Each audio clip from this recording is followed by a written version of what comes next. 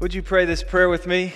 Would you say, Lord Jesus Christ, Son of the living God, have mercy on me, a sinner.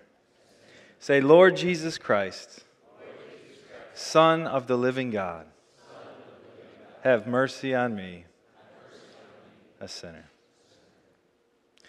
When I look out into the horizon and I kind of take a moment or two to be futuristic and say, where are we headed in youth ministry?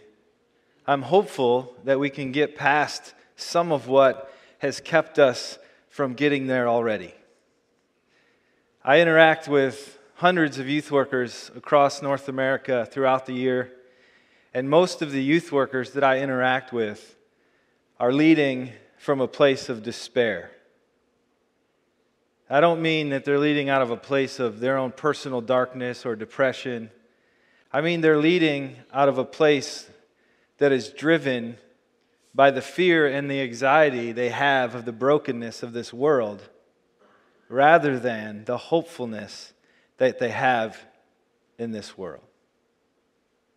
So, as I look out into the horizon, I hope to see hundreds of youth workers joining me in a march toward hope.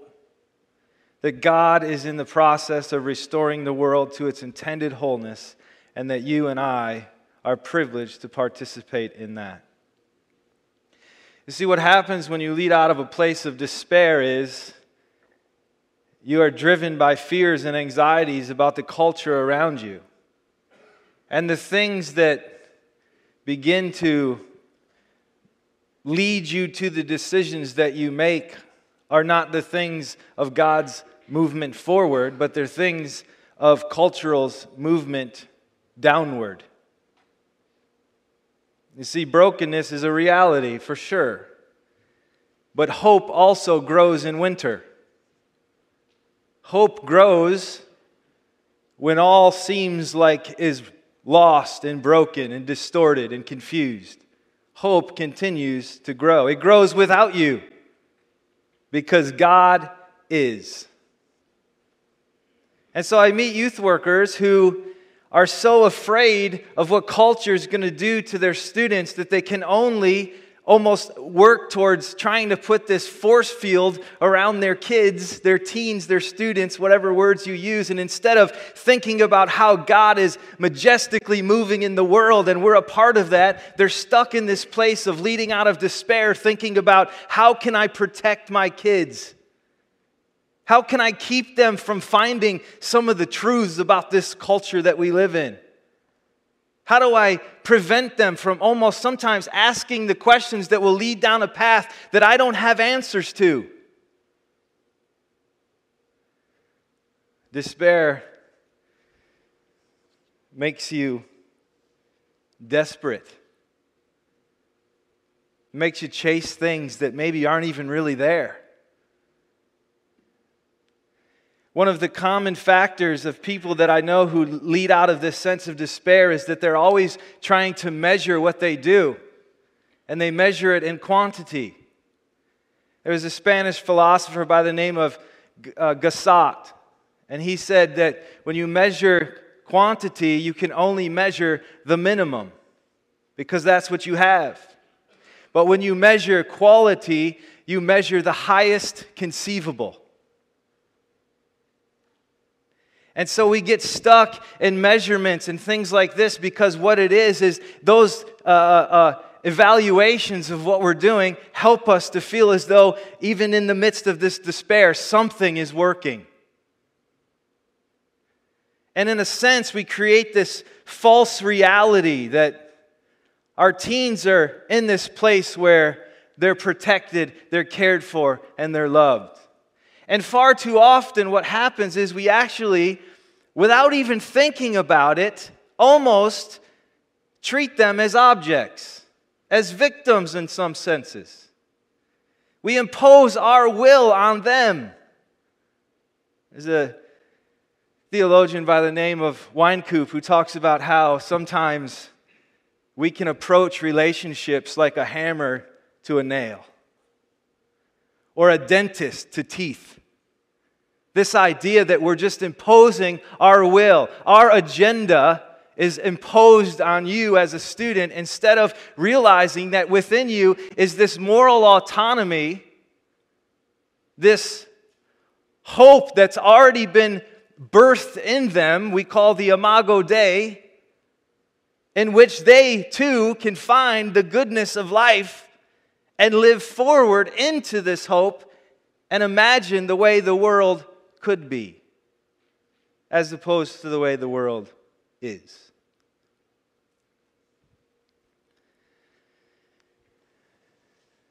What happens, you see, when we lead out of this place of despair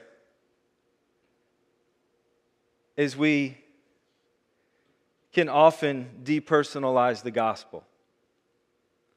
Eugene Peterson says the gospel, if it is not personal, is nothing.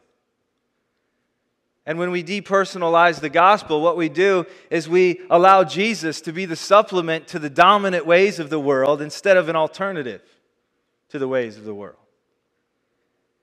And this gospel, not just the first, four books of the Bible, but the full narrative gospel that's being lived out even today, is depersonalized. Jesus becomes a plan as opposed to a person. When you live out of despair instead of hope, and you, you, you, instead of this hopeful imagination of what God can do in the world through us, you live in this place that this is what's going on. How do I protect my teams from it? It depersonalizes the gospel.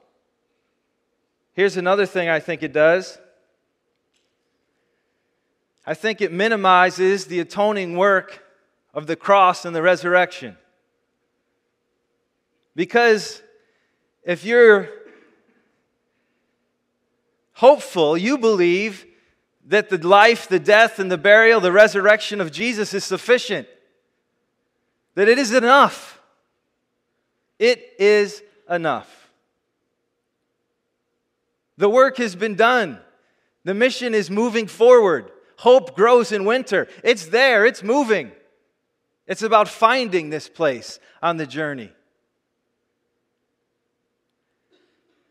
A few weeks ago, I was with a team of youth workers in Kansas City, where I live. They'd asked me just to come in and spend some time with them. And it was a church not far from my home, and so pretty much I swung, swung home from my office to their church and spent an hour with them. And the first question I was asked was how do we make sure that our teens grow up and know how to defend the Bible as truth. So I said, let me get this straight. Your whole idea of bringing me here is to help you try to figure out how to make sure that the Bible doesn't lose any ground in culture. Like, what are you trying to do with this? Well, the pastor said, we're afraid that teens no longer have the same priority that their parents did about what the Bible is as a rule book for their life. And I said, Well, I'm not sure I'm going to be able to help you. I said, Well, what do you mean? I said, I just don't see it like that. God is as active today as He was yesterday, as He will be tomorrow. And it's in that that I find my hope. And so I don't lay awake at night sleepless over whether or not a student knows how to defend whether the Bible is true and accurate and real and how they can quote scripture. Instead, I look at it and go, what if we were to paint a picture about what it really looks like to live out the, the theology in the Bible to the culture around us? I'm not, minim- I'm not saying it's not important to know the scriptures, and, and I'm, what I'm saying is that when the emphasis is only on the defense of it, it puts teens in a posture where they can only look at the negative things that are happening in culture instead of saying, oh, look at what God is doing in the world around us. I was moved by the Do Something presentation today. Do something. And I thought, how simple is that? Do something. And there's a lot of hope there. You can see it in the presenter's whole body language and her presentation. There's hope that things in the world are going to be great.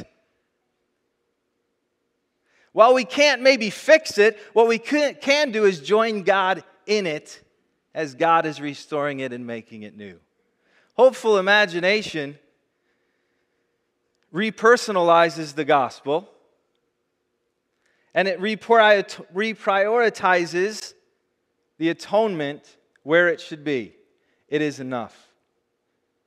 The work of the resurrection, the cross, is enough.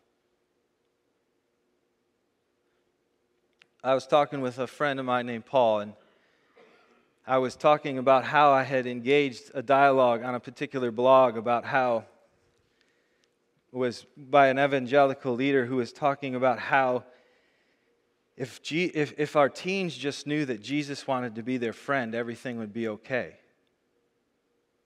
And I hate that language. I don't talk about Jesus as a friend, I talk about Jesus as the king. And so, what I said to this person, this friend of mine, Paul, is you know, the problem with youth ministry is everybody wants Jesus to be these kids' friends instead of the fact that Jesus is their king. He said, no, no, no, no. The problem with youth ministry is that there's a problem with youth ministry. Meaning, we've lost this idea that the cross and the atoning work and the resurrection is enough. You are not Jesus. You are called to be like Jesus. The work has been done. Work towards repersonalizing the gospel, making it real again. Jesus is not a plan, he's a person that's lived out through you in your community. And a severe commitment to a hopeful imagination is what I believe will inspire our teens to do something and to live toward what it means to participate in the redemptive work of God in this world. Thanks.